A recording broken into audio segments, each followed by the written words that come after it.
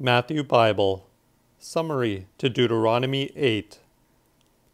Moses put putteth the Israelites in remembrance of the afflictions and benefits that they had the forty years which they were in the wilderness.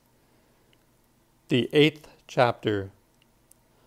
All the commandments which I command thee this day, ye shall keep for to do them, that ye may live and multiply, and go and possess the land which the Lord sware unto your fathers. And think on all the ways which the Lord thy God led thee this forty years in the wilderness, for to humble thee, and to prove thee, to wit what was in thine heart, whether thou wouldest keep his commandments or no. He humbled thee, and made thee hunger, and fed thee with manna, which neither thou nor thy father knew of, to make thee know that a man must not live by bread only, but by all that proceedeth out of the mouth of the Lord must a man live. Thy raiment waxed not old upon thee, neither did thy feet swell this forty years. Understand therefore in thine heart that as a man nurtureth his son, even so the Lord thy God nurtureth thee.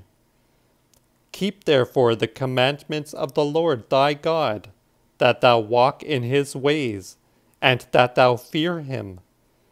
For the Lord thy God bringeth thee in to a good land, a land of rivers of water, of fountains and of springs that spring out both in valleys and hills a land of wheat and of barley, of vines, fig trees, and pomegranates, a land of olive trees with oil and of honey, a land wherein thou shalt not eat bread in scarceness, and where thou shalt lack nothing,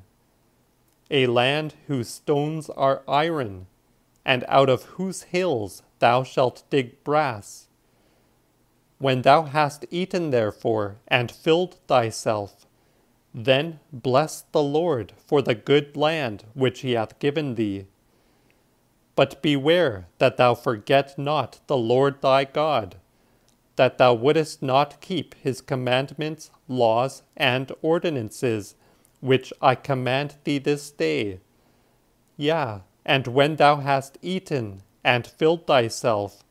and hast built goodly houses and dwelt therein. And when thy beast and thy sheep are waxed many, and thy silver and gold is multiplied, and all that thou hast increased, then beware lest thine heart rise, and thou forget the Lord thy God, which brought thee out of the land of Egypt, the house of bondage and which led thee in the wilderness, both great and terrible, with fiery serpents and scorpions, and drought,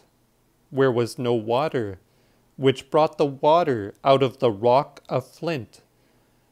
which fed thee in the wilderness with manna, whereof thy fathers knew not, for to humble thee and to prove thee, that he might do thee good at thy later end. And beware that thou say not in thine heart, My power and the might of mine own hand hath done me all these acts. But remember the Lord thy God, how that it is he which gave thee power to do manfully, for to make good the promise which he sware unto thy fathers, as it is come to pass this day. For if thou shalt forget the Lord thy God, and shalt walk after strange gods, and serve them and worship them, I testify unto you this day that ye shall surely perish. As the nations which the Lord destroyeth before thee, even so ye shall perish, because ye would not hearken unto the voice of the Lord your God.